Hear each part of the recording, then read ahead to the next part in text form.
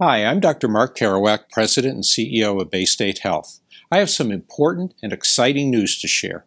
As promised when we last gathered at the President's Evening of Gratitude in May, I want you, our donors, to hear this directly before a formal announcement on Monday. Thanks to your support, Baystate Health is taking a significant step to ensure the future health of our community. Together, we're embarking on a comprehensive campaign to make capital investments throughout the region, fund innovative programs, and build an endowment that will help secure the financial future of our institution and attract top medical talent to our team.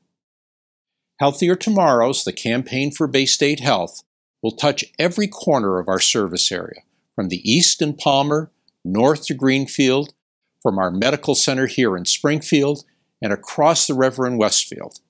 This comprehensive campaign will help us fulfill our promise of advancing care and enhancing lives throughout the region. Since the 1880s, Baystate Health has been providing health care for this community. Over the last few years, we demonstrated as never before our commitment by leading through the pandemic. With your help, we're confident that we can prepare for a future that ensures better health and the necessary care for almost a million people who call Western Massachusetts home. In the next few months, we'll be making our case. Already, with the help of several families, we've made steps toward our $70 million goal with the naming of the Robert S. Davis Wing and the Bolduc Family Courtyard at Baystate Medical Center.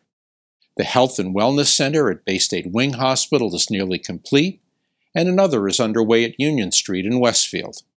The family medicine program is up and running at Baystate Franklin Medical Center, treating patients and training new physicians to serve our region both in our hospitals and community health centers.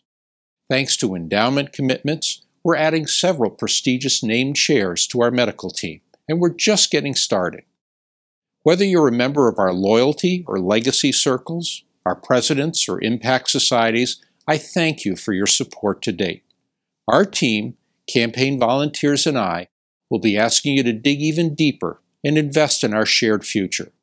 In our lifetime and for generations to come, we'll be able to say that we answered the most important call because everything depends on your health. Here's to a healthier tomorrow.